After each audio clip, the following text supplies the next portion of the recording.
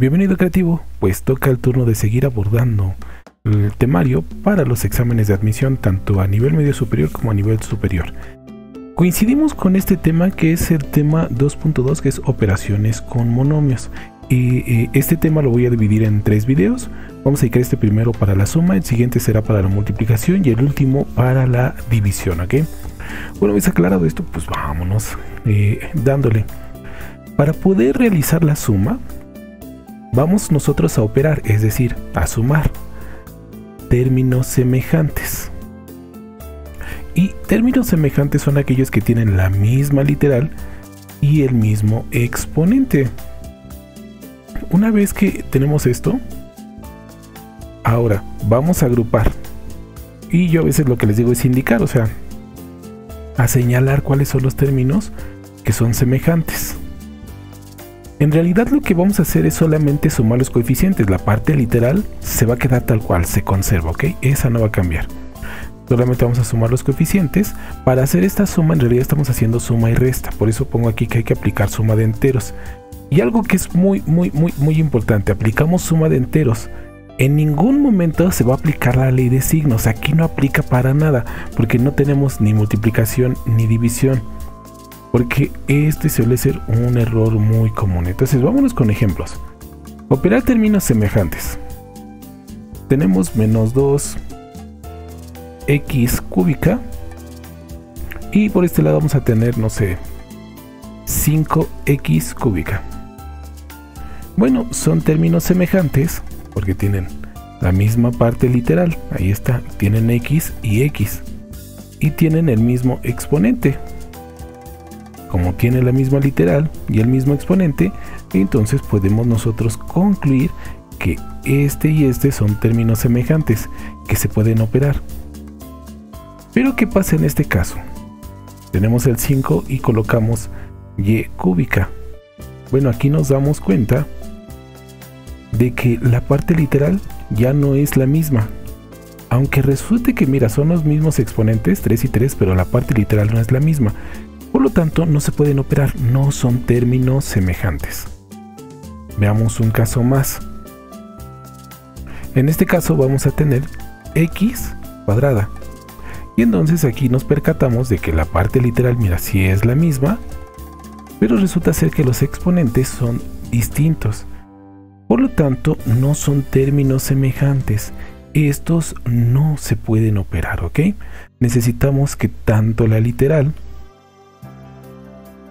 como el exponente, mira, x, x, 3 y pues aquí tiene que ser un 3. Así sí ya los puedo operar. Ok, esta cuestión es muy, muy, muy importante.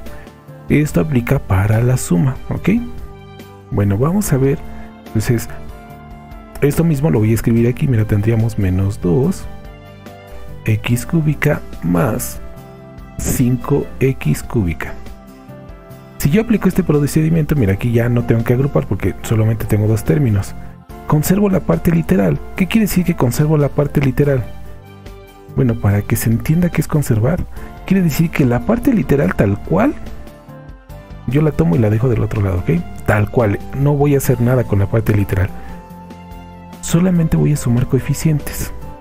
Bueno, aquí tengo 2 y quito 5. Hay que recordar que voy a aplicar suma de enteros. La suma de enteros me dice cuando tienes números de signo distinto los vas a restar. 5 menos 2 me va a dar 3.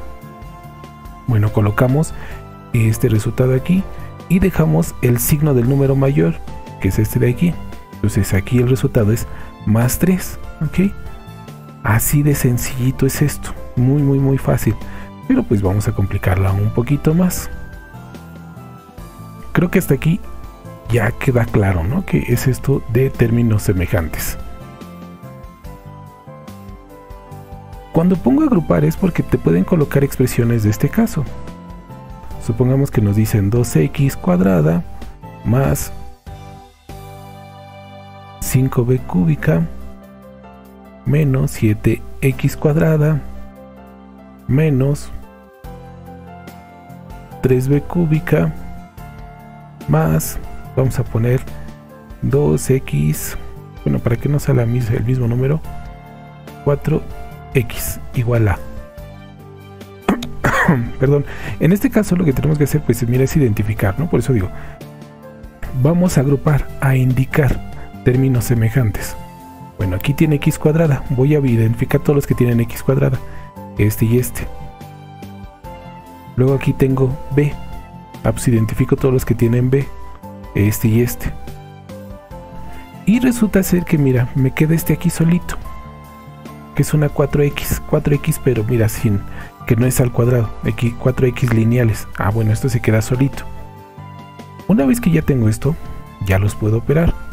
2x, mira, iba otra vez. La parte literal se conserva. Ok, entonces esta se va a quedar así, tal cual. Nada más opero. Tengo 2. Y debo 7, como son distintos signos, los acomodo para resta.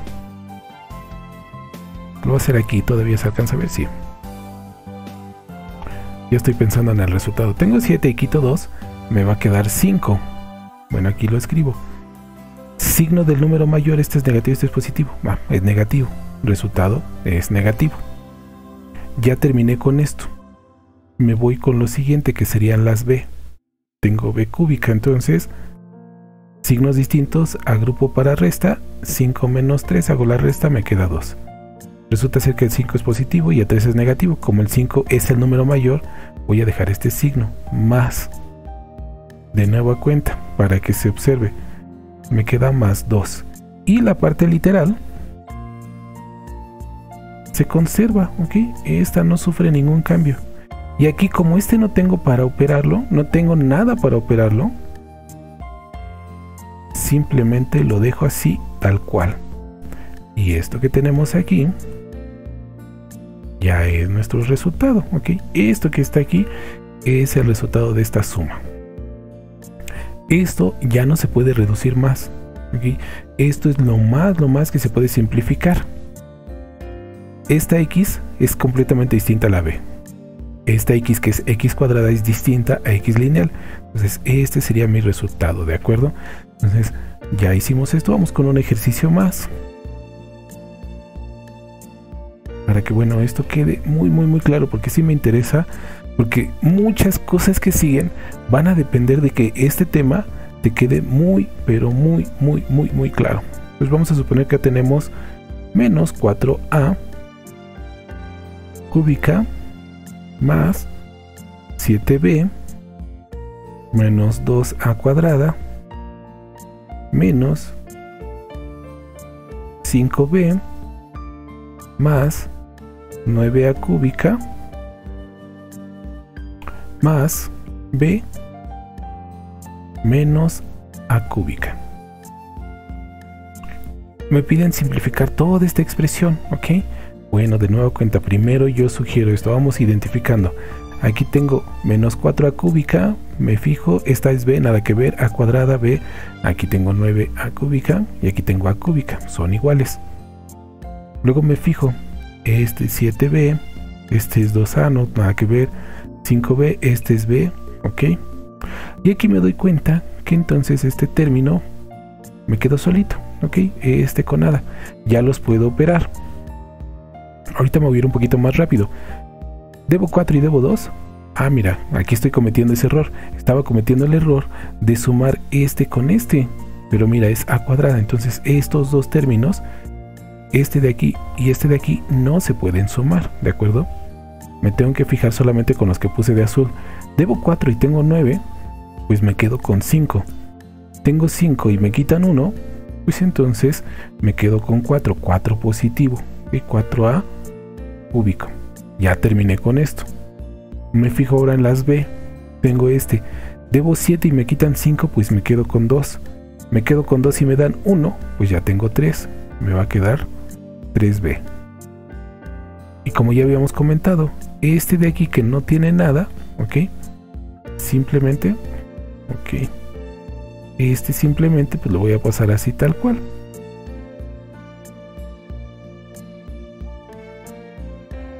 Ya terminé. Este es mi resultado. Ya, terminé de simplificar esto, ¿ok? Entonces, como lo puedes ver, en realidad es muy, muy sencillo hacer la operación de suma de monomios. Este tema es muy, muy, muy sencillito. Simplemente sigue estas reglas. Agrúpalos de acuerdo a los términos para que ubiques cuáles son términos semejantes, que es aquí lo que yo hice. Conserva la parte literal. Mira, pues aquí si es A cúbica, pues aquí es A cúbica. Si aquí es B, acá va a ser B. Suma los coeficientes. En realidad es todo el chiste. En realidad lo único que yo tengo que hacer es sumar los coeficientes de los términos semejantes, desde luego. Y no vayas a cometer el error de aplicar ley de signos para que se entienda a qué error me estoy refiriendo. Ya que tengo identificados, mira, términos semejantes. Yo he visto que a veces eh, los estudiantes cometen este error. Ya están identificados mis términos semejantes. Y lo que hacen es esto, bueno, tengo 4 y tengo 5, los van a sumar, fíjate lo que hacen, ¿eh? 4 y 5 me va a dar, perdón, 4 y 9 me va a dar 13 y 1 me va a dar 14. Más y menos, menos. Menos y menos, más. 14A. Bueno, esto está completamente equivocado, ¿ok? Esto está equivocado. Aquí quisieron aplicar ley de signos. Entonces, aquí no aplica para nada ley de signos para que ya no vayas a cometer ese error, ¿ok? Entonces aquí simplemente sumas 4 y 9, menos 4 y 9, esto equivale a decir tengo 9 y me quitan 4, pues me quedo con 5. A cúbica es positivo, ¿ok? Y no vayas a hacer esto ya que tienes el resultado más y menos, menos. No, eso es un error. Ya no lo vayas a cometer.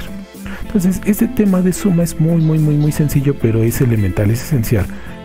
Yo te sugiero, para que esto te quede claro, si es necesario, repasa el video donde está el término de suma de enteros, donde está el tema, perdón, donde está el tema de suma de enteros si es necesario, porque necesitas conocer muy bien, manejar muy bien ese tema para poder abordar este. El siguiente video entonces ahora vamos a ver la multiplicación de monomios, ¿ok? Si esta información te ha sido, pues ya lo sabes, eh, de utilidad, yo te invito pues para que visites el canal, pero no solo eso, antes de despedirme, también si esta información te es de utilidad, pues mira, aquí abajito hay un botón un que dice super gracias, ¿ok? Entonces estas aportaciones créeme lo que también ayudan mucho, mucho el mantenimiento del canal, porque bueno, tú lo sabes, las ganancias realmente por la publicidad de YouTube son poquitas, tenemos, son centavos lo que pagan por miles de visitas, entonces en realidad es poquito, pero si en algún momento te es posible dejar un super gracias, te lo agradezco mucho. Y ahora sí, te invito a que visites el canal y lo explores, porque seguro te vas a encontrar con algo que te va a resultar interesante.